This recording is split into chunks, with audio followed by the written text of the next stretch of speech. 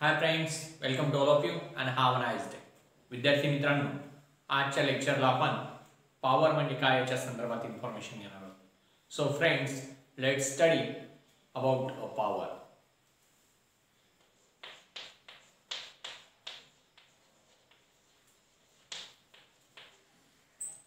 friend बऱ्याचदा आपण दैनंदिन जीवनामध्ये उदाहरणं पाहतो. एखादं काम एकाच वेळेस दोन तीन व्यक्ती सेम वर्क करण्यासाठी हातात घेतात. परंतु काही व्यक्ती ते तात्काळ करतात तर काहींना थोडा वेळ लागतो तर काहींना जरा जास्तच वेळ लागतो. For example can your father climb stair as fast as you can एक जिना असेल एखाद्या बिल्डिंगवर जाणारा वरच्या छतावर जाणारा तो तुम्ही जितका फास्ट चढतात किंवा जितका फास्ट तुम्ही क्लाइंब करू शकता ते स्टेअर्स तितक्याच फास्ट तुमचे वडील करू शकतात का? तर ऑब्विसली नाही. काही लहान मुलं सहज धावत चढून जातात. मोठ्या माणसांना थोडा वेळ लागतो. म्हाताऱ्या माणसांना अजून जास्त वेळ लागतो. पा ट्रॅव्हलिंग पाथ सेम आहे परंतु त्याला लागणारा वेळ हा वेगळा वेगळा आहे. म्हणजे the rate of doing work हा डिफरंट आहे. आणि हा रेट ऑफ डुईंग वर्क म्हणजे काय? तर याच्या संदर्भातच आपण आज आपण इन्फॉर्मेशन घेणार आहोत. तो रेट ऑफ डुईंग वर्क आहे power so friend power means what the rate at which work is done the rate at which work is done is called power work is done is called power. So work done करण्याचा जो rate आहे त्यालाच आपण power असं म्हणतो. मग आपल्याला लक्षात येतं की एखादा काम करण्याचा जो दर असतो तो प्रत्येकाचा वेगवेगळा असू शकतो. काहींना ते काम करण्यासाठी खूप कमी कालावधी लागतो त्यांचा काम करण्याचा दर हा फास्ट असतो. काहींना तेच काम करण्यासाठी जास्त कालावधी लागतो त्यांचा काम करण्याचा जो दर असतो कार्य करण्याचा दर जो असतो तो स्लो असतो. आणि हा रेट ऑफ डुईंग वर्क जो आहे तोच पॉवर त्यालाच आपण पॉवर असं म्हणत असतो फॉर एक्झाम्पल लक्षात घेऊया समजा Varsha Jayesh and Ranjit have to climb a small hill and have to reach the tip of the hill. Suppose Varsha went by car, Jayesh went by a bicycle and Ranjit went by walking. Obviously, who is reach first to the top of the hill? Obviously, Varsha reached the first and who reached the last? Ranjit reach the last लक्षात घ्या एखाद्या टेकडीच्या टोकावर समजा वर्षा कारने जाते जयेश बायसिकलने जातोय आणि रणजित पायी चालत जातोय. जर त्यांचा ट्रॅव्हलिंग पाथ सेम असेल तर सर्वात अगोदर टेकडीवर कोण पोहोचेल? ऑब्विसली वर्षा कारण ती कारने जाते. सर्वात उशिरा कोण पोहोचेल? ऑब्विसली रणजित कारण ते पायी चालत जात आहेत so friend the rate of doing work जो आहे हा कशावर डिपेंड आहे?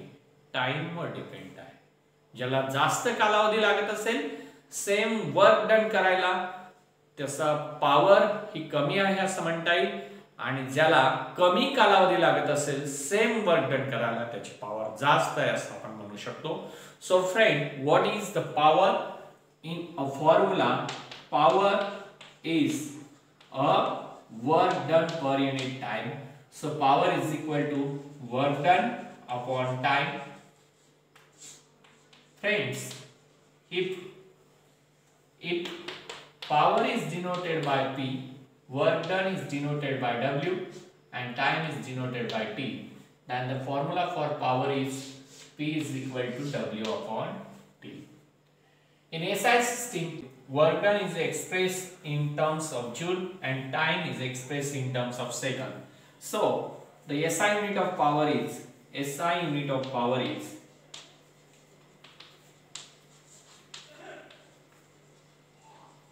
is joule per second because work done is measured in Joule and time is measured in second. But on the honor of the scientist James Watt, it is also known as watt. So 1 watt is equal to 1 joule upon 1 second. So standard unit of power utilized in daily routine is watt. But in industrial sector, the unit of power is horsepower. In industrial sector, unit of power is horsepower. So industrial सेक्टरमध्ये मशीन्सची किंवा इंजिन्सची power जेव्हा calculate केली जाते तर ती mostly horse पॉवरमध्ये घेतली जाते आपण पाहतो पाण्याचे जे पंप्स पाण्याचे जे मोटर्स मोस्टली हॉर्स पॉवर मध्ये so horse power means what one horse power horse power या ठिकाणी ने डिनोट केलं जातं. In short one horse power is equal to seven hundred forty six watts so हे इंडस्ट्रियल युनिट आहे horse power one horse power is equal to seven hundred forty six watt हे आपल्याला M C क्यूच्या दृष्टीने किंवा exam point of व्ह्यूने लक्षात ठेवणं गरजेचं आहे.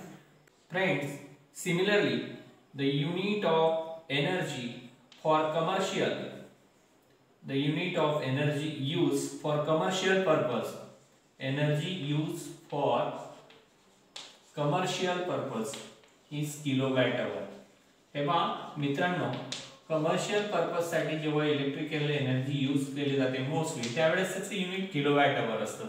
So one kilowatt hour one kilowatt hour means how much one kilowatt म्हणजे आपल्याला माहिती आहे one thousand watt so friend one thousand watt into one hour means one hour means three thousand six hundred second so friend one thousand into 3600 second so one thousand into three thousand six hundred हे calculation येतं आपलं thirty six thirty six lakh thirty six lakh watt into second so watt into second हे होतं आपलं joule so friend या ठिकाणी एक लक्षात घेणे गरजेचं आहे. जर आपल्याला याच्यामध्ये कन्वर्शन करायचं असेल तर हे थर्टी सिक्स लॅक जूल असं येईल आणि जर आपल्याला समजा या ठिकाणी या लास्टच्या झिरो नंतर डेसिमल पॉइंट असेल त्याला जर लेफ्ट हँडला एल एच एसला आपल्याला शिफ्ट करायचं असेल तर किती प्लेसेस आपण त्याला शिफ्ट करणार आहेत? त्यावरून आपण टेनच्या इंडेक्समध्ये असं लिहू शकतो. One two three four five six places आपण त्याला एल एच एसला शिफ्ट केलं. तर हे आपल्याला असं लिहिता येईल. Three point six into ten raise to six joule so या ठिकाणी आपण असं म्हणू शकतो one kilo watt hour is equal to three point six into ten raise to six joule त्यालाच आपण वन युनिट असं सुद्धा म्हणतो. सो फ्रेंड्स या पद्धतीने आज आपण पॉवर या कन्सेप्ट संदर्भात इन्फॉर्मेशन घेतली. पॉवरचे एस आय युनिट्स तसंच कमर्शियल युनिट इंडस्ट्रीयल युनिट यांच्या संदर्भात आपण इन्फॉर्मेशन घेतली. आणि यासोबतच आपलं वर्क अँड एनर्जी हे चॅप्टर या ठिकाणी संपलं. विद्यार्थी मित्रांनो आपले लॉज ऑफ मोशन या चॅप्टरचे व्हिडिओज तुम्ही पाहिले नसतील लेक्चर्स पाहिले नसतील तर त्याच्या लिंक्स या लेक्चरच्या डिस्क्रिप्शनमध्ये दिल्या आहेत त्या तुम्ही पाहू शकता. आणि अजूनही आपल्या चॅनलला सबस्क्राईब केलं नसेल तर तात्काळ सबस्क्राईब करा. म्हणजे येणारे नोट व्हिडिओजचे नोटिफिकेशन्स तुम्हाला तात्काळ मिळतील आणि तुम्ही ते पाहू शकणार. तर विद्यार्थी मित्र या ठिकाणी थांबूया पुन्हा भेटूया पुढच्या लेक्चरला धन्यवाद.